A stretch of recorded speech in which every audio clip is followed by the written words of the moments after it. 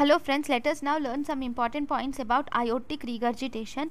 Here the problem here in aortic regurgitation is the uh, flow of blood from the left ventricle to aorta. Here the aortic valve has difficulty in uh, closing uh, during the uh, diastole and as a result uh, the blood instead of flowing forward into the aorta into the systemic circulation some of the blood will regurgitate back into the left ventricle. Because of increased blood regurgitating back into the left ventricle this there is increased uh, overload of volume in the left ventricle and as a result there is left ventricular dilatation will occur. And slowly this pressure will also go into the left atrium leading to left atrial dilatation. And this can even go into the pulmonary circulation causing pulmonary edema and uh, um, pulmonary congestion and edema. Okay? So um, so yeah so first we will see the causes of aortic regurgitation okay? First we will see etiology. The etiology of aortic regurgitation can be one it can be bi bicuspid aortic valve. If you see bicuspid aortic valve causes both aortic stenosis and it also cause aortic regurgitation then infective endocarditis especially if there is perforation of infective endocarditis. It causes aortic regurgitation rheumatic heart disease myxomatous degeneration of aortic valve causes aortic regurgitation. If there is myxomatous degeneration of mitral valve it causes mitral valve prolapse. Aortic regurgitation is also seen in syphilis. It is also associated with ankylosing spondylitis. There are certain conditions where there is uh, aortic root dilatation. Because of the aortic root dilatation there is increased opening of the aortic valve leading to this aortic regurgitation. So this aortic root dilatation is seen in conditions like aortitis or if there is aortic dissection also there is aortic root dilatation. If the patient has hypertension or Marfan syndrome because of fibrillin 1 defect this can lead to aortic root dilatation. Or if the patient has cystic medial uh, necrosis all these will result in aortic root dilatation which will in turn lead to aortic regurgitation so we have two type one uh, similar to we have mitral regurgitation severe mitral regurgitation and severe aortic regurgitation. So similarly we have severe aortic regurgitation. In severe aortic regurgitation if the regurgitation volume if the regurgitation volume of the uh, if the, if the regurgitation volume of the blood is more than 60 ml per beat then we call it as severe aortic regurgitation. And we also call, have one more name terminology which is called as progressive aortic regurgitation. Progressive aortic regurgitation is if the left ventricular ejection volume sorry left ventricular ejection fluid ejection fraction left ventricular ejection fraction is less than 50 percent then we call it as progressive ejection um, sorry progressive aortic regurgitation. Severe aortic regurgitation is if regurgitant volume is more than 60 ml per minute then we call it as progressive aortic regurgitation. If the left ventricular ejection fraction is more than uh, 50 uh, sorry is less than 50 percent then we call it as progressive aortic regurgitation. Then even when left ventricular end systolic dimension is more than 50 mm or if left ventricular end diastolic dimension is more than 60 mm in all these three cases we can call it as progressive aortic regurgitation. Right? So first and foremost uh, we will see the etiology. Sorry once we have learnt about the etiology we will see the clinical features of aortic regurgitation.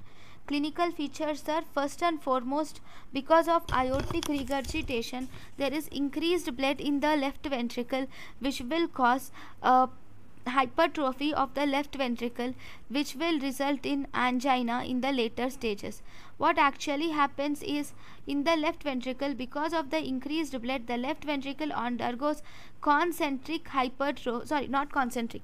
It occurs due to volume overload. So as a result the left ventricle undergoes eccentric hypertrophy. And this will cause this eccentric hypertrophy because the um, muscle cells are increased in the left ventricle so these will increase the demand of blood in the uh, demand of uh, blood the muscles demand for oxygen is increased and as a result as the supply is same this will result in angina. Okay? Then these patients have are actually uncomfortable if you ask them to oh, sleep in supine position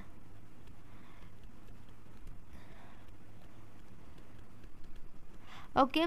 Then if you see there is one type of sensation which is seen in aortic regurgitation for patients called as head pounding sensation is present and they slowly develop they will develop dyspnea which is especially seen on exertion.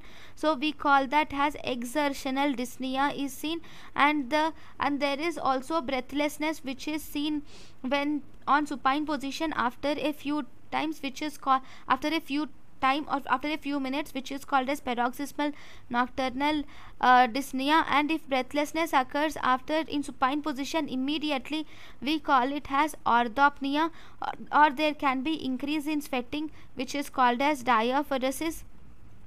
So these are the all the symptoms which you can see in aortic regurgitation.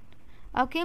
Then on examination we have certain important signs which we see in aortic regurgitation which include one we have de Musset sign.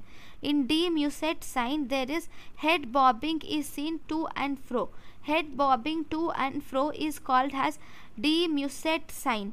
Then we have one more sign which is called as Muller sign. In Muller sign here the issue is in um, uvula this uvula there is pulsations are seen in the uvula. So if there is pulsation seen in the uvula we call it Muller sign.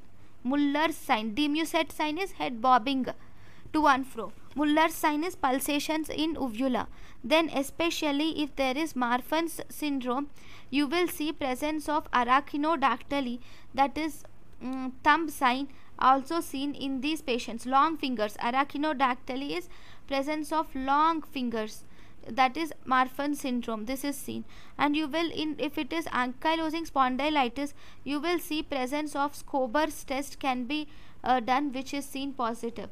If you see the other signs we have a pulse called as Corrigan's pulse or we can also call it as water hammer pulse or we can also call it as collapsing pulse which is seen in aortic stenosis sorry aortic regurgitation which is seen in aortic regurgitation. So in this pulse when the see this is seen when you take the arm of the patient and once you elevate the arm of the patient like this by pass by feeling the pulse you will see that the pulse drops down.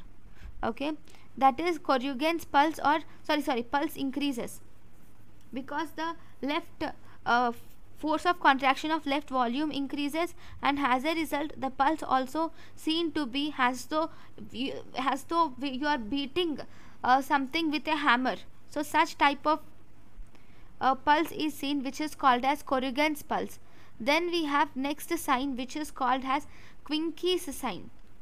Next sign is Quincke's sign. This Quincke's sign is seen here.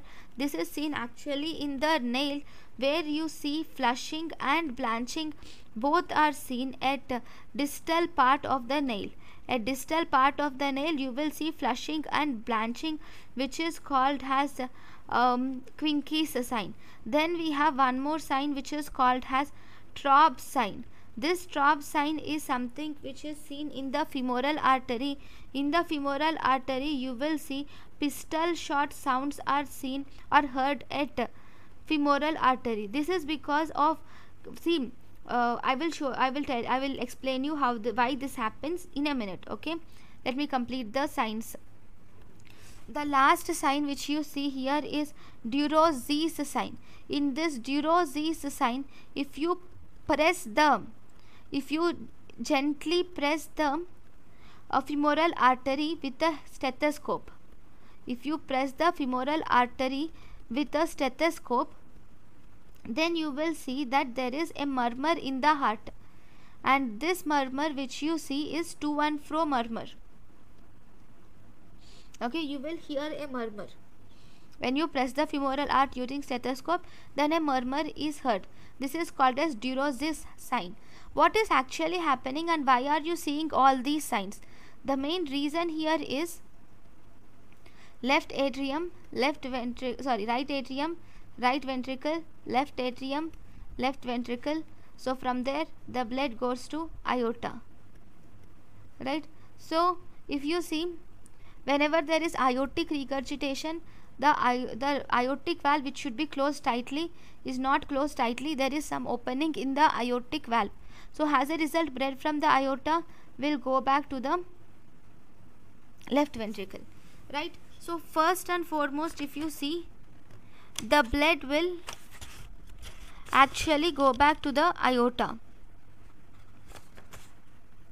right? Look first and foremost you will see that the blood is in, so first in the first systole so, so this is the after systole uh, the, in the first diastole here the blood goes back to the aorta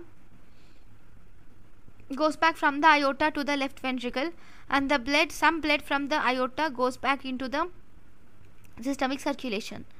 Then uh, what is systolic pressure? Then in the next second beat the whole blood left ventricle now sends the blood which it received from the left atrium and also the blood which it received from the aorta both these blood so for example in if uh, this regurgitated blood is 10 ml okay and from the left atrium if the left ventricle is receiving 50 ml of blood these are just arbitrary values.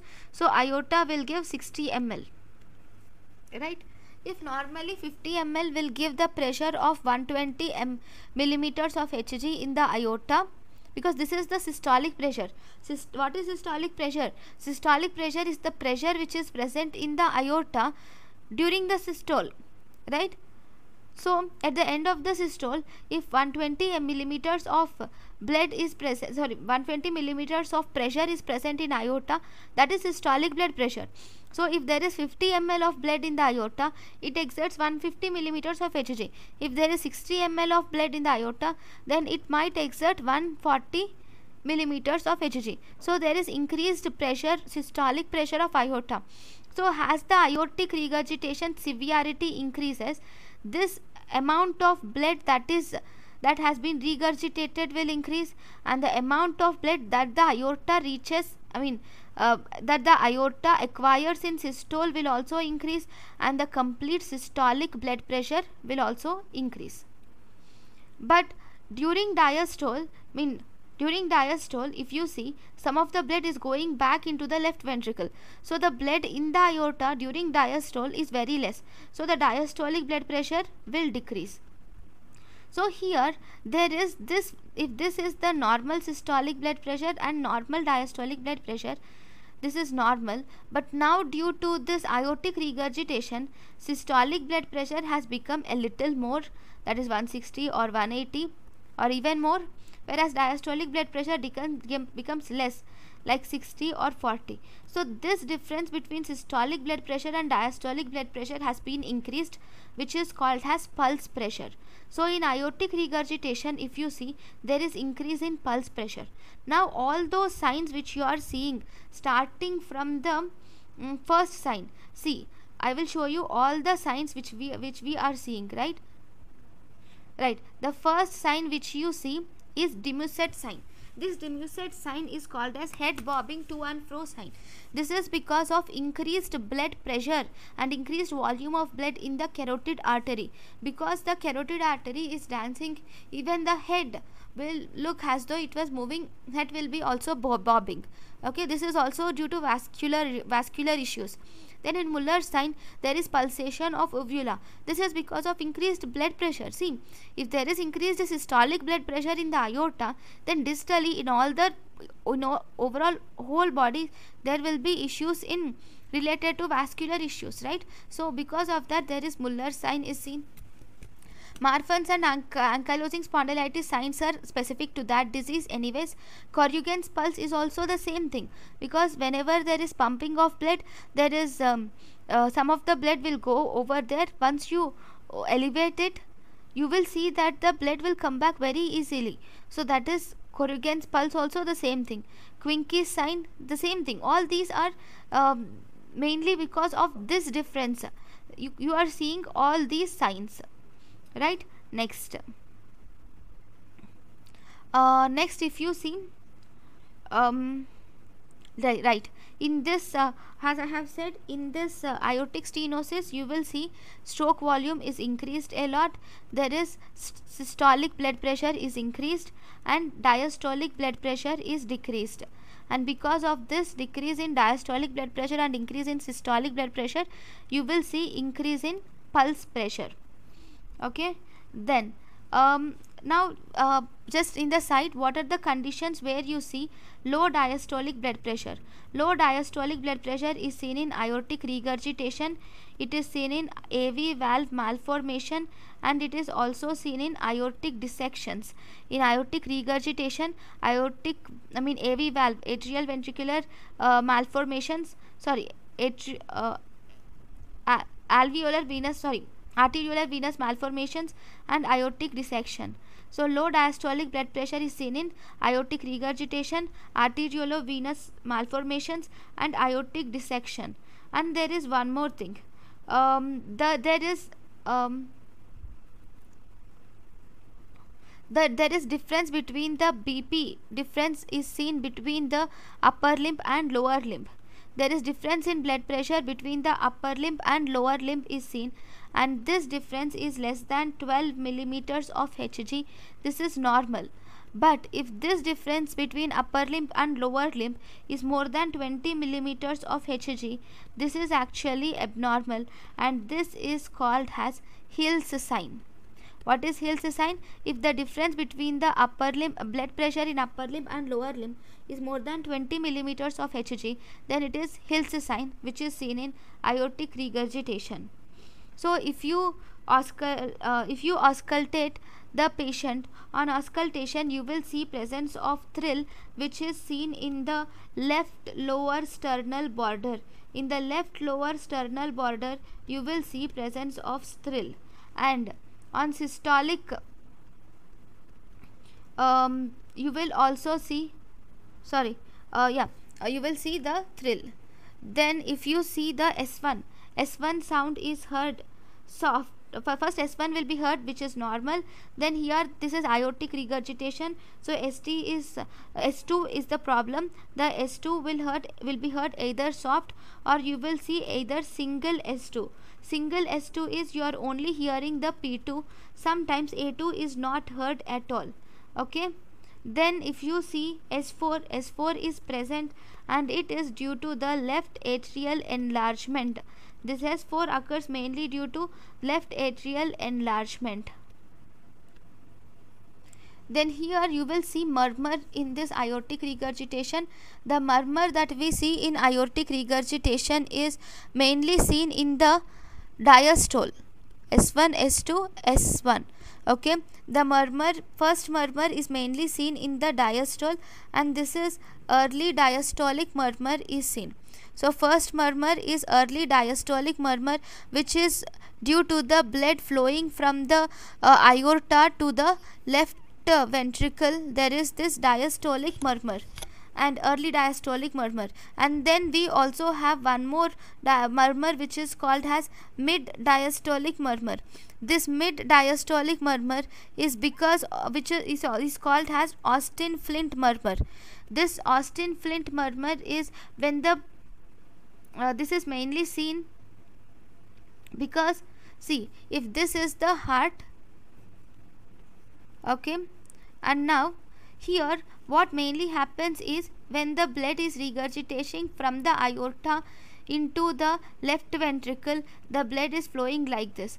And here we have two valves which are mitral valves so when the blood is flowing back into the left ventricle due to high velocity of blood flow these these this blood will uh, cause flickering of the mitral valve. This flickering or this this cause movement of the mitral valve. So this will result in the murmur which is called as austin flint murmur which is mid diastolic murmur. It occurs after this early diastolic murmur. That is because it occurs only after the blood has reached the blood has started going into the left ventricle. Okay? Then we have the one more uh, murmur can occur especially if this is associated with sometimes aortic regurgitation is associated with aortic stenosis. So in that case you will see the presence of ejection systolic murmur if it occurs occurs along with aortic stenosis. Okay? Then we have some more signs one more sign which is present here is called as we have Gerhardt sign. Okay this Gerhardt sign is okay this Gerhardt sign is seen here in this we see the pulsations in the spleen are seen in Gerhardt sign. Then we have one more sign called as Rosenbach sign. In Rosenbach sign you will see the pulsations which are present in the liver. Okay so these are important points okay then there is one more sign which is called as Landolfi sign here in Landolfi sign you will see pulsations in the pupil. Pulsations in the spleen is called as Gerhardt sign. Pulsations in the liver is called as Rosenbach sign. Pulsations in the pupil is called as Landolfi sign. Okay. Now, one more important thing, one more important differentials if you see. There is something called as Rosenbach sign of eye this Rosenbach sign of eye here the, the pulsations are seen in the eye. It is seen in Graves disease. Okay? What is this? This is not just pulsations it is actually the tremors of eyelid tremors of eyelid is called as Rosenbach sign of eye which is seen in Graves disease which is seen in Graves disease. Okay? Uh, now we will see the workup. So in the workup first we will see ECG. So in the ECG this ECG is the first line of investigation which you see. And here you will see presence of left ventricular hypertrophy okay? So in ECG we will see presence of left ventricular hypertrophy. So uh, what are the criteria for left ventricular hypertrophy? So criteria if you see there will be deepest s wave should be there in lead 1 and lead v1 and v2 we should have deepest or v2 s wave. Or plus along with that there should be tallest r wave should be present in lead v5 or v6 okay? This tallest r wave that is present in lead V5 or V6 should have more than or equal to 35 has amplitude. Okay? So we should have either the deepest S wave should be there or we should have the tallest R wave should be there. Okay? And there should be plus or minus. Along with that there can be R in the lead AVL in AVL the R wave can be more than or equal to 12 okay? Any of these can be positive. Then this is first criteria. In second criteria the patient is more than 35 years of age. And uh, the fourth criteria is there should be left ventricular strain is present. So if there are if all these three are positive then we call it as left ventricular hy hypertrophy so left ventricular hypertrophy is the main feature of uh, aortic steno aortic, sorry aortic regurgitation. So but if you were asked what is the investigation of choice investigation of choice is echocardiography is the investigation of choice. With the help of echocardiography we can find out the uh, severe re uh, aortic regurgitation also then if you see the chest x-ray in chest x-ray you see left ventricular enlargement is seen because of left ventricular hypertrophy. Then if you see you can also do coronary angiography to know the status of the coronary arteries. We can do coronary angiography can also be done. Mm, then if you see the next uh, we will learn about the treatment of aortic regurgitation so in the treatment of aortic regurgitation if we have acute aortic regurgitation then in this we can uh, give the patient with loop diuretics can be given or you can give vasodilators can be given. In the vasodilators we can give sodium nitroprusside can be given to the patient. Okay but the best thing is for acute aortic regurgitation best uh, thing is you should do surgical management is the best thing. Surgery should be done within uh, less than 24 hours that is within one day it is better to do surgery. That is for acute aortic regurgitation. Then if you see chronic aortic regurgitation in chronic aortic regurgitation. We can give the patient first diuretics can be given. Then we can give angiotensin converting enzyme inhibitors. Calcium channel blockers can be given to the patient. All these will just decrease keep the heart I mean decrease the systolic blood pressure. Okay? Always and always you should have to keep the systolic blood pressure to be less than 140 millimeters of hg okay?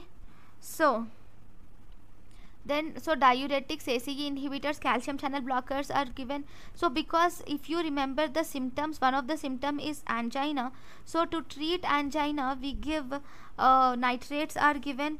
And if if the patient suffers from syphilis or if you think that the aortic regurgitation is attributed to syphilis then you can give benzathine penicillin can be given to the patient Mm, this benzathine penicillin should be given uh, in the dosage of 2.4 million units. It should be given im uh, 3 shots. It uh, 3 shots we should give for one week. Okay? So this is the uh, important thing about aortic regurgitation but if you were asked what is the treatment of choice? At the end if what is the treatment of choice is we will have to go through aortic valve replacement should be done and this is the treatment of choice for uh, this. So if you were asked what is the indications of aortic valve replacement we have three main indications. If there is symptomatic severe aortic valve replace uh, sorry aortic regurgitation. Symptomatic severe aortic regurgitation or symptomatic moderate aortic regurgitation or if the patient is suffering from asymptomatic severe aortic regurgitation. So in all these conditions aortic valve replacement should be done. Remember this surgery should always be done within one year of occurrence of chronic aortic regurgitation if it is acute aortic regurgitation you should do it less than 24 hours. So if you see some important points beta blockers are contraindicated absolutely in aortic regurgitation that is acute aortic regurgitation. Then uh, intra-aortic balloon pump. Intra-aortic balloon pump is also contraindicated because this will worsen the aortic regurgitation. So this is contraindicated. So these are the contraindications of aortic regurgitation. So this is about aortic regurgitation. Thank you for watching